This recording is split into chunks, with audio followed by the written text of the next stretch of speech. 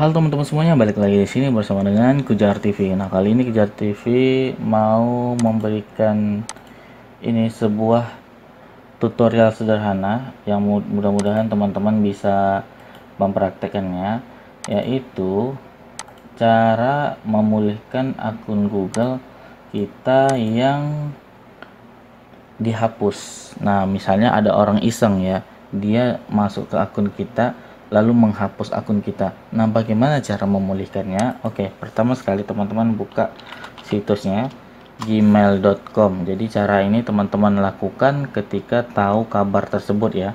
Kemudian teman-teman masukkan uh, emailnya. Oke, copy, kemudian kita kopikan ke sini, pastikan.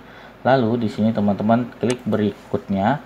Setelah ini akan ada muncul seperti ini. Akun ini baru-baru dihapus dan mungkin dapat dipulihkan klik berikutnya untuk mencoba memulihkan. Oke kita klik berikutnya. Kalau sudah teman-teman masukkan sandi terakhirnya. Oke kita masukkan sandinya ya. Ini sandinya kita copy kita copy kemudian kita masukkan sini. Pastikan kita klik berikutnya. Siap. Nah ini berhasil. Anda telah berhasil membatalkan penghapusan akun anda telah melanjut memasukkan kata sandi saat ini sehingga dapat menjalan melanjutkan ke akun Google. Jadi kita sudah berhasil teman-teman. Nah kita klik lanjutkan. Nah kita berhasil mendapatkan akun email kita kembali yang sudah kita hapus atau susah yang terhapus. Nanti dia akan dapat email seperti ini. Your Google account is back ya.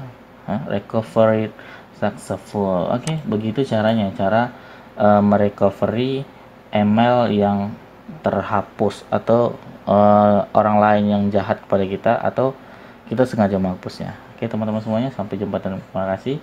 Tetap stay di sini di Kejar TV. Mudah-mudahan informasi ini bermanfaat untuk teman-teman lakuin dan selamat akun Anda telah aktif lagi. Bye bye.